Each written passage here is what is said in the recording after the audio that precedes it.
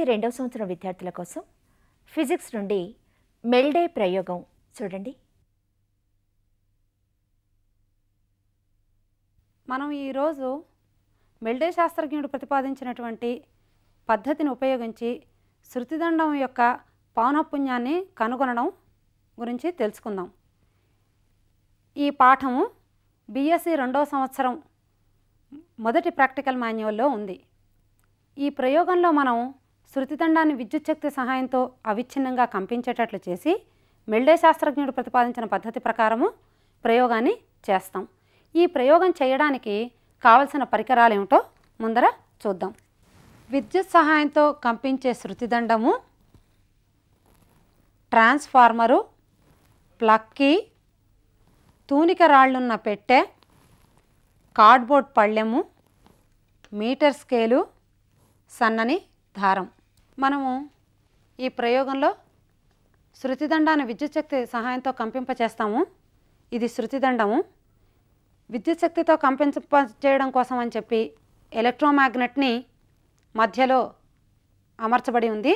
దీన్ని ఈ స్క్రూ సహాయంతో వెనుకకి ముందరికి జరిపి ఏ బిందువు వద్ద కావాలంటే అక్కడ స్థిరంగా ఫిక్స్ చేయడానికి అవకాశం ఉంది. ఎలక్ట్రోమాగ్నెట్ యొక్క బేస్కి రెండు బంధనపు మరలు బిగించబడి ఉన్నాయి. ఇవి వలయంలో ఉపయోగిస్తాము. మనం శృతిదండాన్ని కంపింపచేయడం కోసం అని చెప్పి ఎలక్ట్రికల్ స్పార్క్ని ఏర్పరిచి శృతిదండాన్ని కంపింపజేస్తాం. దానికోసమని ఈ స్క్రూని వెనుకకి ముందరికి జరిపి స్పార్క్ని ఏర్పరుస్తాం. తిరియక్ విధానంలో శృతిదండాన్ని క్షితిజ సమాంతరంగాను అనుదైర్ఘ్య విధానంలో క్షితిజ లంబంగా ఉంచుతాము. దానికోసం అని చెప్పి ఇక్కడ ఉన్నటువంటి స్క్రూను లూజ్ చేసుకుని మనము ఈ విధంగా క్షితిజ లంబంగా నిలబెట్టడానికి అవకాశం ఉంది. అప్పుడు మళ్ళీ ఈ స్క్రూని టైట్ చేస్తాం. ముందర మనము స్థిర తరంగాలు లేక స్థావర తరంగాల్ని ఏర్పరిచి ఈ ప్రయోగం ఎలా చేస్తామో చూద్దాం. దారం యొక్క ఒక కొనని శృతిదండానికి కట్టి రెండో కొనని కప్పి గుండా పోనిచ్చి తేలికపాటి పళ్ళానికి అంటే బరువులు వేసుకోవడానికి వీలుగా ఉన్నటువంటి పళ్ళానికి కడతాం. శృతిదండాన్ని కంపింపచేసినప్పుడు శృతిదండాన్ని కంపింపచేసినప్పుడు కంపనాలు దారం నుండి ప్రయాణించి కప్పి వద్ద వెనక్కి మరలుతాయి. పురోగామి తరంగాలు సమానమైన వ్యతిరేక పురోగామి తరంగాలతో కలిసినప్పుడు స్థిర తరంగాలు లేక స్థావర తరంగాలు ఏర్పడతాయి. స్థిర తరంగాల యొక్క ధర్మాలని మొదలు చూద్దాం. స్థిర తరంగాల యొక్క ధర్మాలను ఏమిటో చూద్దాం. స్థిర తరంగాలు ఒక ప్రదేశానికి పరిమితమై ఉంటాయి. ఉత్సుల రూపంలో ఏర్పడతాయి. గరిష్ట కంపన పరిమితి ఉన్న బిందువుల్ని ప్రస్పందన స్థానాలు అని గరిష్ట కంపన పరిమితి ఉన్న బిందువుల్ని ప్రస్పందన స్థానాలు అని కనిష్ట కంపన పరిమితి ఉన్న స్థానాల్ని అస్పందన స్థానాలు అని అంటారు. స్థిరతరంగాల్లో వరుసగా ఒక ప్రస్పందన స్థానము ఇంకొక తర్వాత అస్పందన స్థానము మళ్ళీ ప్రస్పందన స్థానము అంటే యాంటీనోడు నోడు యాంటీనోడు నోడు ఏర్పడతాయి. రెండు ప్రస్పందన స్థానాల మధ్య దూరం కానీ రెండు అస్పందన స్థానాల మధ్య దూరాన్ని కానీ మనము ల్యాండా బై టూతో సూచిస్తాం. రెండు ప్రస్పందన స్థానాల మధ్య దూరాన్ని కానీ లేక రెండు అస్పందన స్థానాల మధ్య దూరాన్ని ల్యాండా బై టూతో సూచిస్తాం. ల్యాండా తరంగ దైర్ఘ్యాన్ని సూచిస్తుంది.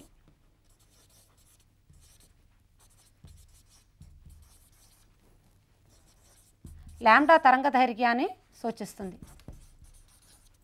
ఇప్పుడు స్థిర తరంగాలను ఉత్పాదించడానికి మనకు కావలసినటువంటి విద్యుత్ వలయాన్ని చూద్దాం. మొట్టమొదలు స్థిర తరంగాల్ని తిరియక్ విధానంలో ఎలాగ ఉత్పత్తి చేయగలము అనేటువంటిది చూద్దాం. దీనికోసమని ట్రాన్స్ఫార్మర్ ఇది ట్రాన్స్ఫార్మర్ని సూచిస్తుంది. ట్రాన్స్ఫార్మర్కి ఇన్పుట్గా రెండు వందల ముప్పై వోల్ట్ల ఏసీని ఇస్తాము. అవుట్పుట్ అంటే సీడీ బిందువుల మధ్య ఆరు పాయింట్ మూడు వోల్టులను ఇస్తుంది. వి శృతిదండము ఇది విద్యుత్ శక్తి సహాయంతో కంపించేలా చేయడం కోసం అని చెప్పి ఎలక్ట్రోమాగ్నెట్ని ఉంచుతాము. ఎస్ అనేటువంటిది శృతిదండానికి దగ్గరగా ఉన్నటువంటి స్క్రూ. మనము దీన్ని కంపించేటట్టు చేయడం కోసం అని చెప్పి ఈ స్క్రూని ముందరికి వెనకకి జరపడానికి అవకాశం ఉంటుంది. కే అనేటువంటిది ప్లక్కిని సూచిస్తుంది. వి వలయంలో విద్యుత్ ప్రవహించడానికి కోసం అని చెప్పి లేదు ఆపు చేయదలుచుకుంటే ప్లక్కీని ఉపయోగిస్తాము. ప్లక్కీని మూసి వలయంలో విద్యుత్ ప్రవహించేటట్టుగా చేయవచ్చు. ఇంతకుముందు చెప్పుకున్నట్లుగా శృతిదండం యొక్క ఒక కొనకి దారాన్ని కట్టి దాన్ని పుల్లి మీద గుండగా పోనిచ్చి రెండవ కొనని తేలికపాటి పళ్ళానికి కడతాం. ఈ తేలికపాటి పళ్ళంలో కొన్ని తూనికరాళ్ళని వేస్తాం. దీనివల్ల దారముకి తన్యత అప్లై చేసినట్టు అవుతుంది. అంటే దారం టెన్షన్లో ఉంటుంది. ఈ తన్యతని అంటే మనం ఈ పళ్ళెంలో యాడ్ చేసేటువంటి వెయిట్స్ని మారుస్తూ ఉంటే ఈ దారం పైన ఏర్పడేటువంటి ఉచ్చుల సంఖ్య కూడా మారుతుంది. తన్యతతో ఏర్పడేటువంటి ఉచ్చుల సంఖ్య మారుతుంది. తద్వారా ఏమవుతుంది అంటే కనుక దీని యొక్క అంటే ఉచ్చుల సంఖ్య మారినప్పుడు రెండు ప్రస్పందన స్థానాలు లేకపోతే రెండు అస్పందన స్థానాల మధ్య దూరం మారుతుంది. అంటే తరంగ దైర్ఘ్యం మారుతుంది అన్నమాట. కాబట్టి శృతిదండం యొక్క పౌనఃపుణ్యము దారంలోని తన్యత పైన. తర్వాత ఒక ఉచ్చు పొడవు పైన. తర్వాత దారం యొక్క ఏకాంక పొడవు ఉన్న దారం యొక్క ద్రవ్యరాశితో మారుతుంది. కాబట్టి మనం ప్రయోగం చేసేటప్పుడు తన్యతని మారుస్తూ ఉచ్చు యొక్క పొడవుని కనుగొంటాం. ఎమ్ అనేటువంటిది స్థిరాంకం. ఎమ్ ఏకాంక పొడవు కలిగిన దారం యొక్క ద్రవ్యరాశి. కాబట్టి తిరియక్ విధానంలో శృతిదండం యొక్క భుజానికి దారం సమాంతరంగా ఉంటుంది. శృతిదండం యొక్క కంపనాలు దారంలో కలిగేటువంటి కంపనాలకి లంబంగా ఉంటాయి. ఇది తిరియక్ విధానం. తిరియక్ విధానంలో మనము శృతిదండం యొక్క పౌనఃపుణ్యం కనుగొనడానికి ఉపయోగించేటువంటి formula nu is equal to one by two L into square root of T by M. పౌనఃపుణ్యాన్ని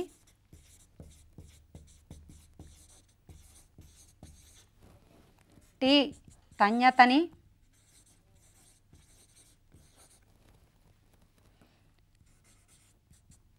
M mass per unit length. Mass per unit length. అంటే ఏకాంక పొడవు ఉన్న దారం యొక్క ద్రవ్యరాశిని. ఎల్లు ఒక ఉచ్చు పొడవుని సూచిస్తాయి. అయితే ఎల్లు కనుక్కోవడానికి ఎస్ పొడవు ఉన్నటువంటి దారంలో ఎక్స్ ఉచ్చులు ఏర్పడ్డాయి అని అనుకుందాం. ఎస్ పొడవున్న దారంలో ఎక్స్ నంబర్ ఆఫ్ ఉచ్చులు ఏర్పడ్డాయి అని అనుకుందాం. అప్పుడు ఒక ఉచ్చు యొక్క పొడవు L will be equal to S by X మనం ప్రయోగం చేయడానికి ముందర తిరియక్ విధానంలో కానీ లేక అనుదైర్ఘ్య విధానంలో కానీ ఎమ్ము అంటే దారం యొక్క ఏకాంక పొడవు యొక్క ద్రవ్యరాశి. తర్వాత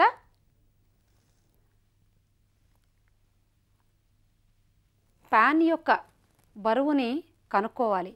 ఇక్కడ మనం కలగజేసే తన్యత పళ్ళెం బరువు అంటే కార్డ్బోర్డ్ పళ్ళెము మూడు దారాలతో సహా కనుగొన్నటువంటి పళ్ళెం యొక్క బరువు ప్లస్ పళ్ళెంలో వేసేటువంటి తూనికరాళ్ళ బరువు మొత్తాన్ని లెక్కలోకి తీసుకుని దాన్ని గురుత్వ త్వరణంతో హెచ్చిస్తాం. అంటే T is equal to M plus P into G. S పొడవు ఉన్నటువంటి దారంలో ఎక్స్ ఉచ్చులు ఏర్పడుతున్నాయి అని అనుకుందాం.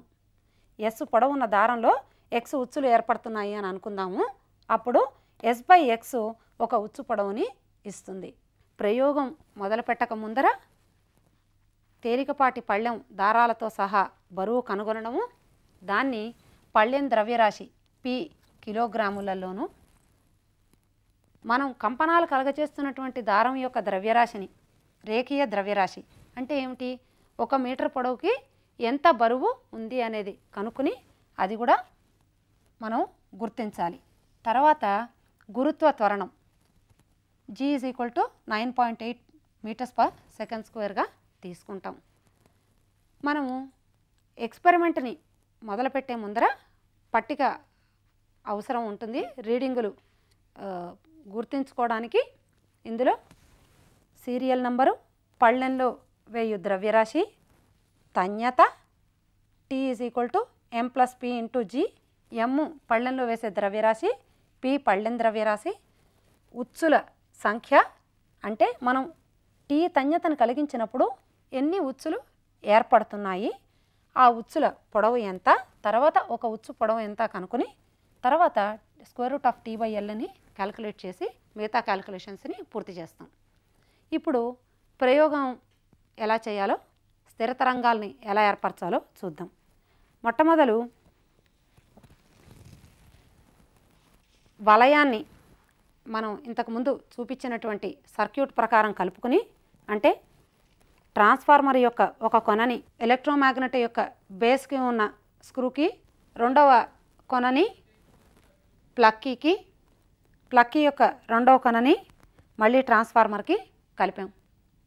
ట్రాన్స్ఫార్మర్ నుండి ఆరు పాయింట్ మూడు వోల్టులు ఆ, విద్యుత్ శక్తిని మనం శృతిదండం కంపించే విధంగా ఎలక్ట్రోమాగ్నెట్కి అప్లై చేస్తాం.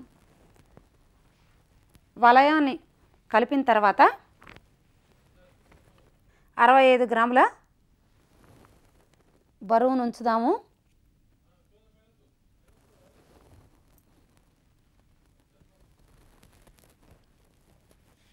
ప్లక్కీని మూసి వలయాన్ని పూర్తి చేసి శృతిదండాన్ని కంపించేటట్లుగా చేద్దాం.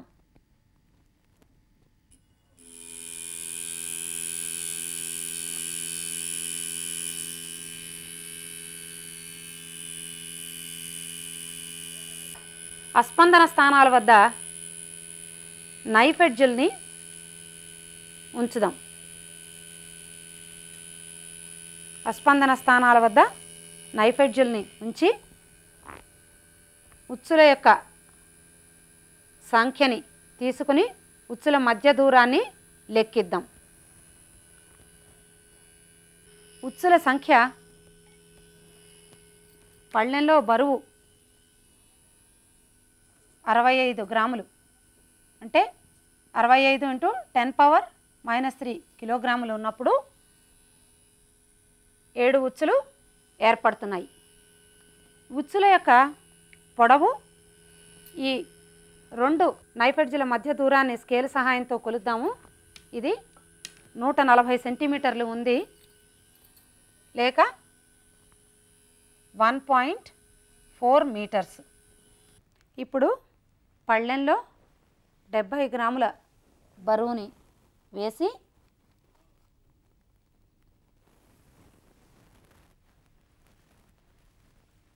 ప్లక్కీని మూసి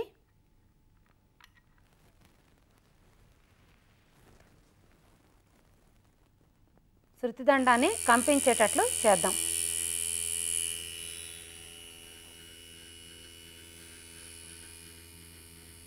అస్పందన స్థానాల వద్ద నైఫ్ ఎడ్జుల్ని ఉంచి వాటి మధ్య దూరాన్ని స్కేల్ సహాయంతో కొలుద్దాం.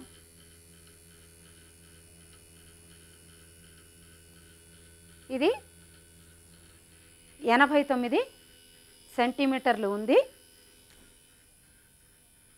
అంటే పాయింట్ ఎయిట్ నైన్ మీటర్స్ డెబ్భై గ్రాముల బరువుని పళ్ళెంలో వేసాము ఇప్పుడు కీని మూసి మా ప్లాటినం టిప్ ఉన్నటువంటి స్క్రూని అడ్జస్ట్ చేసి శృతిదండంలో కంపనాలు వచ్చేటట్టుగా చేస్తాం. ఇప్పుడు స్థిరతరంగాలు ఏర్పడడాన్ని మీరు గమనిస్తున్నారు.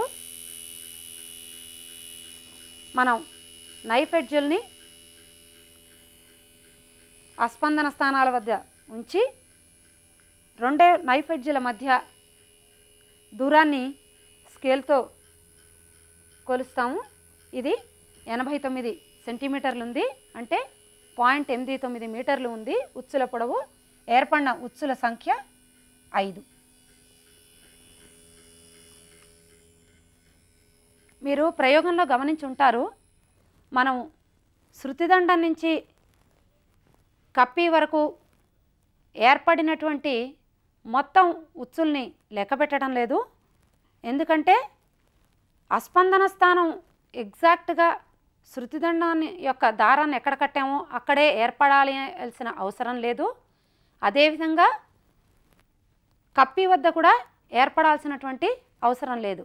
కాబట్టి మనం శృతిదండానికి కప్పికి మధ్యలో ఉన్నటువంటి దూరాన్ని మార్చి బేసి సంఖ్య ఉన్నటువంటి ఉచ్చులు ఏర్పడేటట్లుగా చేసి ఎడమ పక్కన అంటే శృతిదండం వైపు ఒక ఉచ్చుని తర్వాత కప్పి వైపున ఒక ఉచ్చుని వదిలివేస్తే మధ్యలో ఉన్నటువంటి ఉచ్చుల్ని మనం లెక్క పెట్టుకుని ప్రయోగాన్ని చేయవచ్చు. ఒకవేళ కనుక అస్పందన స్థానం ఎగ్జాక్ట్గా ఫామ్ అవుతోంది మనం కొలవగలుగుతాము అంటే గనక శృతిదండం నుంచి కప్పి వరకు దూరాన్ని కొలవవచ్చు. ఇప్పుడు మనం డెబ్భై గ్రాములు లేక seventy into ten power minus three kilograms వేసినప్పుడు ఐదు ఉచ్చులు ఏర్పడ్డాయి. ఈ ఐదు ఉచ్చుల పొడవు పాయింట్ ఎనిమిది తొమ్మిది మీటర్లు ఉంది. మిగతా క్యాల్కులేషన్స్ పూర్తి చేద్దాం. అరవై ఐదు into ten to the power of minus three కిలోగ్రాములు ఉన్నప్పుడు నైఫ్ ఎడ్జ్ల మధ్య ఏడు ఉచ్చులు ఏర్పడ్డాయి. వాటి యొక్క పొడవు ఒకటి పాయింట్ నాలుగు మీటర్లు. కాబట్టి ఒక్కొక్క ఉచ్చు పొడవు పాయింట్ రెండు మీటర్లు. మనకి ప్యాన్ బరువు తెలుసు. ప్యాన్లో వేసిన ద్రవ్యరాశి తెలుసు కాబట్టి తన్యత పాయింట్ సిక్స్ ఫోర్ నైన్ న్యూటన్లు ఉంది. ఈ విలువను ఉపయోగించి square root of T by ఎల్ని లెక్కిస్తే అది ఫోర్ పాయింట్ నాట్ టూ వస్తుంది. అదేవిధంగా డెబ్భై into ten to the power of minus three కిలోగ్రాములు వేసినప్పుడు ఉచ్చుల సంఖ్య ఐదు వాటి పొడవు పాయింట్ ఎనిమిది తొమ్మిది మీటర్లు ఉంది. ఒక్కొక్క ఉచ్చు పొడవు పాయింట్ ఒకటి ఏడు ఎనిమిది మీటర్లు. మనకి ప్యాన్ బరువు ప్యాన్లో వేసినటువంటి ద్రవ్యరాశి తెలుసు కాబట్టి తన్యత పాయింట్ సిక్స్ నైన్ ఎయిట్ న్యూటన్లు ఉంది. ఇది square root of T by yellow ప్రతిక్షేపిస్తే మనకి ఫోర్ పాయింట్ సిక్స్ నైన్ వస్తుంది. వీటి సరాసరి four point three five five. తిరియక్ విధానంలో శృతిదండం యొక్క పౌనఃపుణ్యానికి formula nu is equal to one by two into square root of M into square root of T by L ఈ విలువల్ని ఈ సమీకరణంలో ప్రతిక్షేపిస్తే మనకి శృతిదండం యొక్క పౌనఃపుణ్యము డెబ్భై ఒకటి పాయింట్ ఒక హడ్జులుగా వస్తుంది. మనము ఇప్పటిదాకా తిరియక విధానంలో శృతిదండాన్ని అమర్చి శృతిదండం యొక్క పౌనపుణ్యం ఎలా కనుగొనాలి అనేది చూసాం. ఇప్పుడు అనుదైర్ఘ్య విధానంలో శృతిదండాన్ని అమరిక చేసి ఎలాగ పౌనపుణ్యం కనుక్కుంటామో చూద్దాం. దీనికోసం మొట్టమొదలు మనకి విద్యుత్ వలయం కావాలి. ఇందులో టీ అనేటువంటిది ట్రాన్స్ఫార్మర్ని సూచిస్తుంది. ఏబి ఇన్పుట్ వద్ద రెండు వందల ముప్పై వోల్టుల ఏసీని ఇస్తాము. అవుట్పుట్ వద్ద ఆరు పాయింట్ మూడు వోల్టులు వస్తుంది. కే ప్లక్కీని ఎస్ ప్లాటినం టిప్ ఉన్న స్క్రూని సూచిస్తాయి పుల్లి ప్యాన్ శృతిదండము ఎలక్ట్రో మ్యాగ్నెట్ అనుదైర్ఘ్య విధానంలో శృతిదండము దారము ఒకే దిశలో కంపిస్తాయి. కానీ శృతిదండం యొక్క భుజాయం యొక్క పొడవుకి దారం లంబ దిశలో ఉంటుంది. అనుదైర్ఘ్య విధానంలో శృతిదండం యొక్క భుజానికి దారం లంబ దిశలో ఉంటుంది. కానీ శృతిదండం యొక్క కంపన దిశ దారం కంపించే దిశ ఒకటిగానే ఉంటుంది.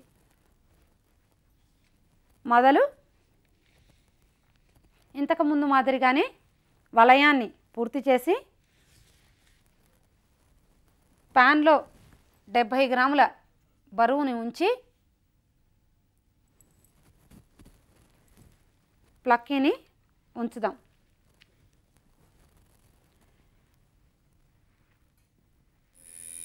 ప్లాటినం టిప్పు ఉన్నటువంటి స్క్రూని అడ్జస్ట్ చేసి స్థిర తరంగాలు ఏర్పడేటట్లుగా చేస్తాం. మనము అనుదైర్ఘ్య విధానంలో శృతిదండం యొక్క పౌనపుణ్యాన్ని కనుగొనడానికి nu is equal to one by L into square root of T by M అనే ఫార్ములాని ఉపయోగిస్తాము. టీ తన్యతని సూచిస్తుంది. T will be equal to M plus P into G. M పళ్ళెంలో వేసిన బరువుల విలువ పి పళ్ళెం యొక్క ద్రవ్యరాశి జి గురుత్వ త్వరణాన్ని సూచిస్తాయి. జీ విలువ nine point eight metres per second square తీసుకుంటాము. ఇంతకుముందు మనం తిరియక్ విధానంలో పళ్ళెం యొక్క ద్రవ్యరాశి P is equal to one point two four into ten power minus three KG అని కనుక్కున్నాము. అదేవిధంగా దారం యొక్క ఏకాంక పొడవు ఉన్న దారం యొక్క ద్రవ్యరాశిని point nine four into ten power minus three KG per మీటర్గా కనుక్కున్నాం. మనము ఇప్పుడు తిరియక్ విధానంలో లాగే అనుదైర్ఘ్య విధానంలో కూడా ప్రయోగాన్ని చేస్తాము. అనదీర్ఘ విధానంలో ఉపయోగించే పట్టికలో సీరియల్ నంబరు పళ్ళెంలో వేయు ద్రవ్యరాశి తన్యత ఉచ్చుల సంఖ్య ఉచ్చుల పొడవు ఒక ఉచ్చు పొడవు తర్వాత square root of T by L లెక్కించాలి. Square root of T by ఎల్ని లెక్కించి ఈ ఫార్ములాను ఉపయోగించి nu is equal to one by L square root of T by ఎంని శృతిదండం యొక్క పౌనపుణ్యం కనుగొంటాం. మొదలు ప్యాన్లో డెబ్భై గ్రాముల బరువుని ఉంచి వలయాన్ని మూద్దాం.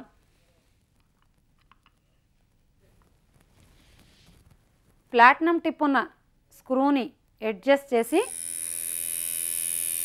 దారంలో స్థిరతరంగాలు ఏర్పడేటట్టుగా చేద్దాం.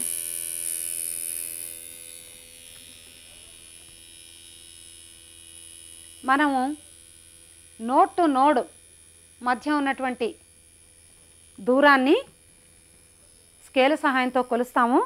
డెబ్భై గ్రాముల బరువు ఉన్నప్పుడు seventeen to ten power minus three KG ఉన్నప్పుడు మూడు ఉచ్చుల పొడవు నూట పదిహేడు లేక వన్ పాయింట్ వన్ సెవెన్ మీటర్లు ఉంది. పళ్ళెంలో వేసిన ద్రవ్యరాశి ప్లస్ పళ్ళెం బరువుని గురుత్వత్వరణంతో హెచ్చిస్తే మనకి తన్యత వచ్చింది. Square root of T by ఎల్ని లెక్కించగా రెండు పాయింట్ ఒకటి నాలుగు వస్తుంది. ఈ ఎల్ ఒక ఉచ్చు పొడవుని మనము పాయింట్ మూడు తొమ్మిదిగా కనుక్కున్నాం. Nu is equal to one by L square root of T by M అనేటువంటి సూత్రాన్ని ఉపయోగించి అనుదైర్ఘ్య విధానంలో శృతిదండం యొక్క పౌనఃపుణ్యాన్ని కనుగొంటాము. అది మనకి అరవై ఎనిమిది పాయింట్ రెండు హర్ట్స్ కింద లెక్కిస్తాం. ఈ ప్రయోగం చేయడంలో ముఖ్యంగా మీరు అనుదైర్ఘ్య విధానంలో అమరుస్తున్నారా తిరియక్ విధానంలో అమరుస్తున్నారా అనేటువంటిది చాలా ముఖ్యం. అనుదైర్ఘ్య విధానంలో శృతిదండం యొక్క భుజానికి దారం లంబంగా ఉంటుంది. కానీ శృతిదండం యొక్క కంపనాల దిశ దారంలోని కంపనాల దిశకి సమాంతరంగా ఉండేటట్టుగా చూసుకోవాలి. తర్వాత దారం బరువు తర్వాత ప్యాన్ యొక్క బరువు జాగ్రత్తగా కొలవడం అనేది చాలా ముఖ్యము. తర్వాత మనం ఇంకొకటి ముఖ్యంగా గుర్తుంచుకోవాల్సిన విషయం ఏమిటంటే ఎప్పుడూ కూడా శృతిదండానికిను పుల్లికి మధ్య ఉన్నటువంటి దూరం స్థిరంగానే ఉండాలి అనేటువంటి ఇదేమీ రూల్ లేదు. మనకి ఏర్పడేటువంటి ఉచ్చుల సంఖ్యని బట్టి మనము వెనక్కి ముందరికి మార్చుకుని అంటే దారం యొక్క పొడవుని మార్చి ప్రయోగాన్ని చేయవచ్చు.